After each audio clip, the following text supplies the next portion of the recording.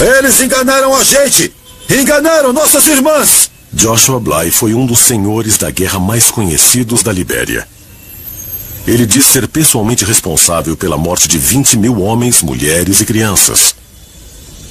Ele e seus seguidores também praticam o canibalismo. Eles acreditam que comer corações humanos os torna invencíveis. Se atirar em mim, não acontece nada. Se um homem parar na minha frente com lança-foguetes, eu posso ficar lá. E se eu disser de volta pro lançador com meu dedo, sem proteção nem nada, se eu disser de volta pro lançador, o foguete vira e dá a volta. Sabia que nada me mataria. Esse era o meu conceito. Que sejamos apenas um em nome de Jesus. Amém. Deus os abençoe. Joshua Bly agora comanda um centro de reabilitação para ex-meninos soldados, muitos dos quais lutaram por ele. Durante a guerra, Joshua ficou conhecido como General Butt Naked, porque tinha tanta certeza de sua invencibilidade que ia para a batalha usando apenas as botas. Eu lutei nu porque poderes me foram dados vindos da nossa tradição. De acordo com as antigas tradições de sua tribo, Joshua foi escolhido para ser ordenado sacerdote pelo seu deus, Niambe Awe. Ele tinha 11 anos. Meu pai me chamou. Me segurou em seus braços. Chorou, chorou, chorou. E aí ele disse: Meu filho, você nasceu para isso. Você nasceu para ser o sacerdote da tradição dessa tribo. Então eles vieram te buscar. De repente,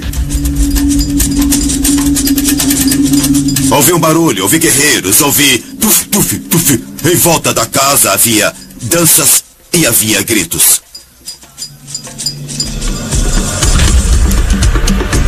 Os anciãos da aldeia levaram Joshua para uma enorme pedra onde vivia seu deus, Niambe Awe.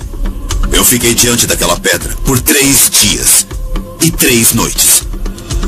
Literalmente, eu vi a pedra se mover. Fiquei de pé nela.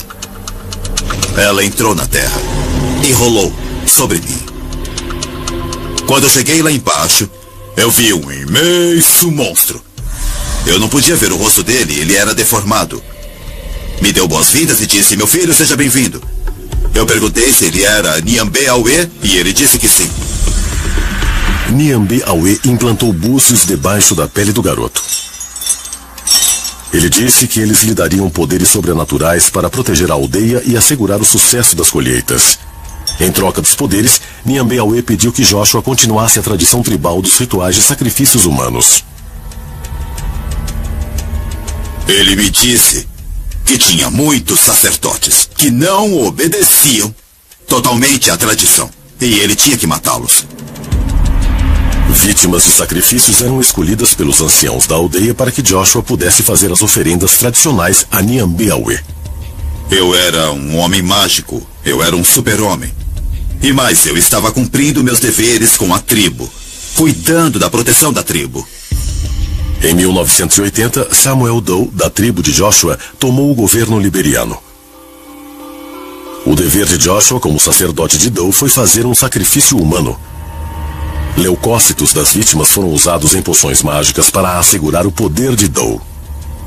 O sargento Samuel Kenyon Doe foi o presidente. Então injetamos sua fama nas mentes das pessoas, tirando esses leucócitos e levando a vários banquetes diferentes, pagando pessoas nesses locais para que os colocassem em toda a comida que fosse feita. Então quem comesse daquele banquete automaticamente teria medo do presidente Doe.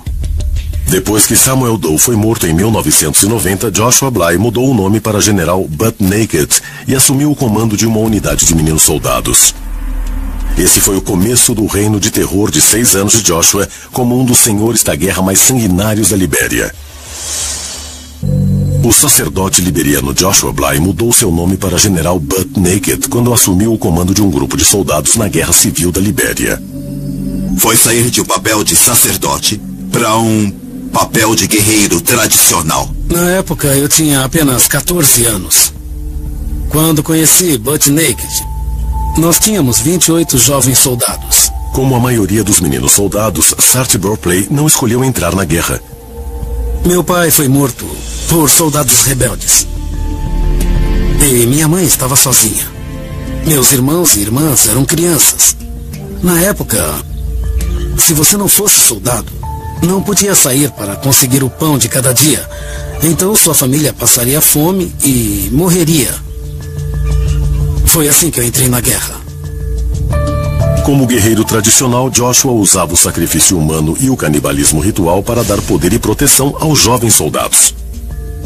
Ele me disse que devíamos nos banhar com sangue e também beber. Eu disse que não. Não podia me banhar com sangue, não podia beber sangue. E nunca tinha feito aquilo. Ele me disse que isso me tornaria poderoso para continuar com ele. Esse era o único jeito das balas não me tocarem. Então ele me deu sangue. Quando eu bebi o sangue, eu comecei a me sentir mal e queria vomitar. Joshua disparou uma arma para distrair o jovem Sart do seu enjoo. Ele disparou uma arma no ar e me tornou corajoso. Toda vez que eu ouço o som de uma bala, fico corajoso. E ele me perguntou como eu me sentia. E eu disse: quando você dispara, meu coração acelera e eu fico corajoso e quero lutar. E ele riu.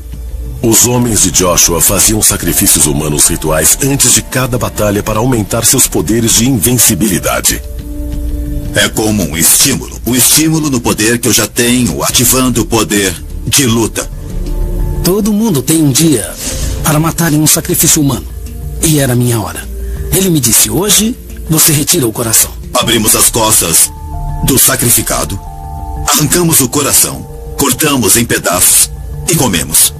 Se fossem 15 homens, dividíamos em 15 pedaços. Ele ficava com o maior e, e ele comia, entregava o resto para nós e só então poderíamos comer. Nós bebíamos sangue e nos banhávamos com o sangue. Então eu comecei a me acostumar com isso, e isso se tornou parte de mim. Então, toda vez que éramos atacados, e esse ataque era grande, antes de reagirmos, fazíamos um sacrifício. Se fôssemos atacados dez vezes em um mesmo dia, comíamos dez corações naquele mesmo dia. Os soldados de Joshua também matavam e comiam inimigos depois da vitória. Acreditamos que se uma pessoa é um guerreiro, se tem poder espiritual, quando você o mata, você fica com poder. Se for um inimigo que fuma, não comemos seu coração. Ele não funciona. Os rumores sobre os poderes mágicos de Joshua espalham medo entre seus inimigos. Quando grito, quando eu grito todos ao meu alcance, ficam hipnotizados. Quando acordo, abro minhas mãos e grito. A gente saiu correndo porque ele era muito poderoso. Bud Naked chegou ao front nu cantando uma música tribal. Ele tinha o um machado na mão e eu me senti meio fraco, sabe? Me senti fraco.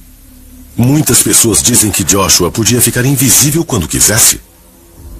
Quando o fogo é intenso, às vezes ele desaparece. Se você atirar em mim, não acontece nada. Eu posso desaparecer. Então ele podia ficar invisível? Ah, podia sim. Em 1996, a campanha de seis anos de canibalismo e morte de Joshua chegou ao fim quando ele se converteu ao cristianismo. Então, louvemos a Deus! Joshua atualmente é investigado pela Comissão de Verdade e Reconciliação da Libéria por crimes de guerra. Meus olhos se abriram quando eu me converti ao cristianismo. E percebi que o Niambeauê era um enganador. Eu encontrei um poder melhor. E esse poder é o nome de Jesus. E esse poder está no sangue de Jesus. Jesus assumiu o controle da minha vida desde 1996. E eu só digo a eles que fui um dos seus sacerdotes e encontrei um poder melhor. E continuamos a enfatizar o quanto lamentamos ter contribuído para tamanho mal a essa nação. Louvado seja Deus!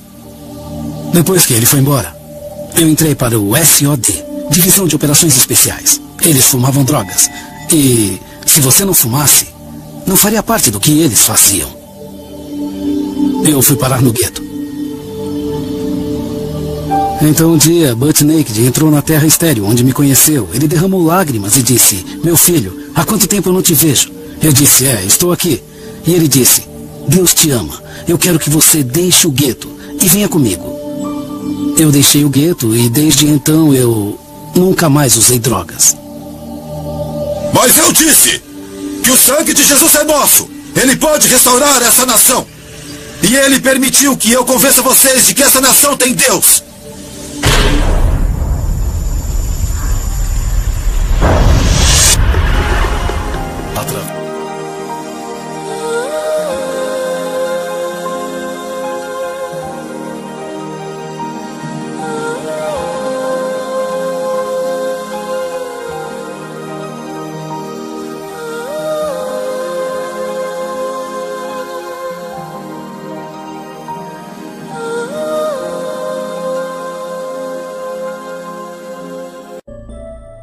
Respondeu-lhe Jesus: Eu sou o caminho, e a verdade e a vida. Ninguém vem ao Pai senão por mim.